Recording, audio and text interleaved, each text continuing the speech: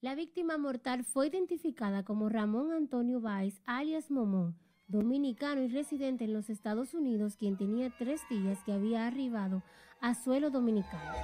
Su mayor ilusión de este viaje era celebrar el cumpleaños número 91 de su madre.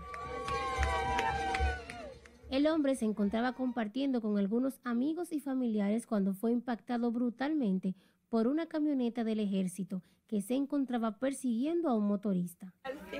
Cinco minuticos me le despegué, cinco minuticos vine aquí a la casa, él estaba allá al frente, aquí no había nadie porque él, el sobrino de él cumplía 19 años. Y mi mamá busqué el regalo, no estaba bebiendo nada, ni siquiera estaba en el grupo, los tigres estaban al lado de su carro ahí parados. En la celebración que terminó en tragedia, al menos otras tres personas resultaron heridas con fracturas y otras lesiones. Y le dieron ahí que lo, lo estracharon ahí con la, con la pared. Cuando yo me quise parar para ayudarlo a él, me caí porque el golpe lo que yo tenía ahí no lo sentía, pero cuando me paré, no pude pararme.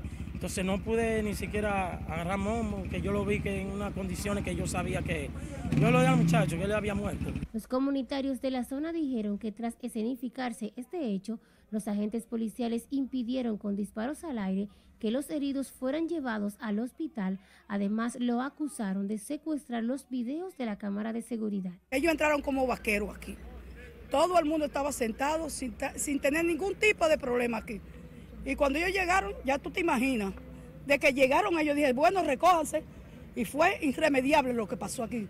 No dicen nada, no hacen nada. Después fue un tiroteo, hicieron una locura, esto fue un corredero, esto una cosa que estamos totalmente consternados. Que esto se investigue, que estos militares se investiguen y que puedan ser sancionados, porque realmente no es la forma de, de hacerle frente a la delincuencia, de, de esa represión. Nosotros entendemos como comunitarios que hay muchas maneras. Algunos heridos se encuentran recuperándose actualmente en el hospital Moscoso Puello, mientras que los vecinos denunciaron que hay inocentes apresados sin justificación.